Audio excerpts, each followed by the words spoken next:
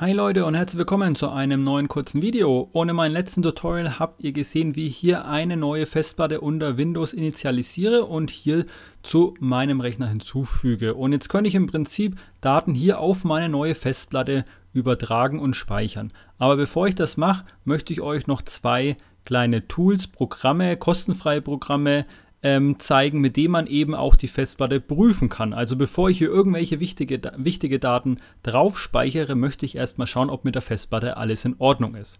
Da gibt es zum einen Crystal Disk Mark. Das ist ein kleines Tool, mit dem man die Geschwindigkeit der Festplatte messen kann.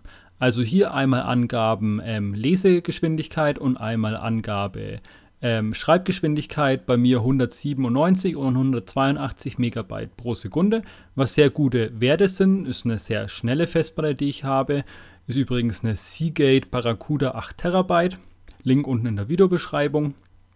Und wäre jetzt hier mit diesen Werten irgendwas nicht in Ordnung. Also zum Beispiel, dass ähm, die Lesegeschwindigkeit bloß bei 1, 2, 3 Megabyte pro Sekunde liegt, wo man auch wirklich merkt, es ist extrem langsam, dann hätte zum Beispiel was beim Versand passieren können. Also zum Beispiel die Festplatte wird viel rumgeschmissen, dann könnte hier am Ende das Ergebnis so sein, dass hier irgendeiner von diesen Werten äh, signifikant abweicht von irgendeiner Herstellerangabe oder was man sonst im Internet eben so als typische Werte für dieses eine Festplattenmodell findet. Bei mir ist hier alles in Ordnung. Wie gesagt, man kann hier eine beliebige Festplatte auswählen, dann hier ähm, die Geschwindigkeit testen und dann werden hier eben soweit die Daten ähm, auf die Festplatte geschrieben und man hat hier ein Ergebnis. Das hier ist ein kleines Tool, kann man auf jeden Fall gut mal ähm, einsetzen, um zu schauen, ob die Performance soweit passt.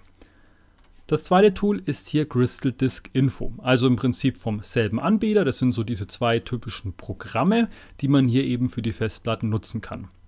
Und bei Crystal Disk Info bekommt man hier die Smart-Werte. Self-Monitoring, Analysis and Reporting Technology. Das ist so eine Art Selbstanalyse ähm, der Festplatte. Also im Prinzip hat es jede Festplatte eingebaut. Hier meine SSD und hier meine anderen Festplatten. Und da bekommt man zum einen so solche Werte wie zum Beispiel, wie oft die eingeschaltet wurde, wie viele Betriebsstunden die Festplatte hat, aber auch hier unten, und das ist eigentlich ganz wichtig, solche Parameter wie Lesefehlerrate oder zum Beispiel Suchfehler. Und hier in dem Fall ist es zum Beispiel so, man hat einen aktuellen Wert und einen schlechtesten Wert, der jemals gemessen wurde.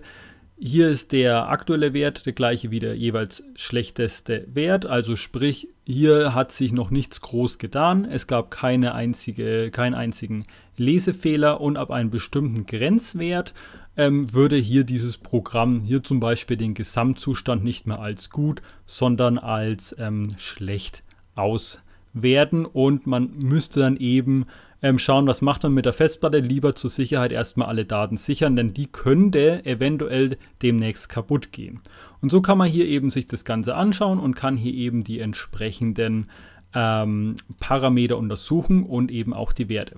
Hier meine neue Festplatte, die sieht mal gar nicht gut aus. Hier Lesefehlerrate sind wir schon relativ schlecht. Ich habe hier auch in den Rohwerten was drinstehen und das, obwohl sie null Betriebsstunden hat und gerade dreimal eingeschaltet wurde.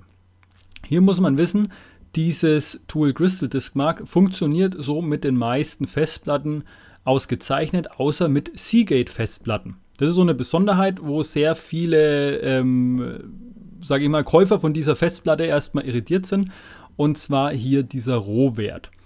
Den kann man sich hier unter Optionen, erweiterte Option, Rohwerte, kann man sich den auch von nicht in Hexadezimal, sondern in Dezimal anzeigen lassen. Und dann habe ich hier einen ziemlich hohen Wert drin stehen. Bei meinen ganzen anderen Festplatten habe ich jeweils den Wert 0, also 0 Lesefehler.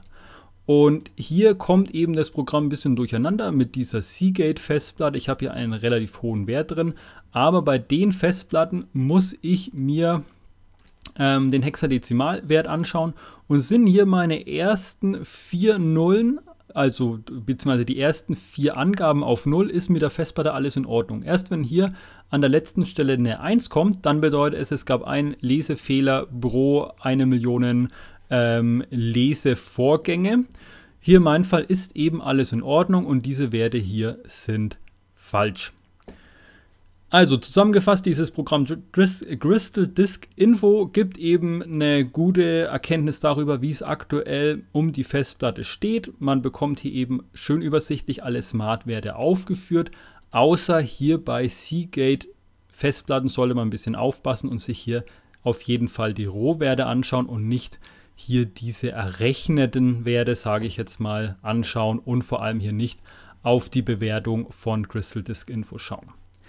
Ja, zusammengefasst, mit meiner neuen Festplatte ist alles in Ordnung. Die Performance passt. Hier auch die äh, Werte, die hier angegeben werden, passen soweit auch. Und ich kann sie problemlos verwenden. Ja, ich hoffe, ich konnte euch damit etwas beibringen. Bis dann. Tschüss.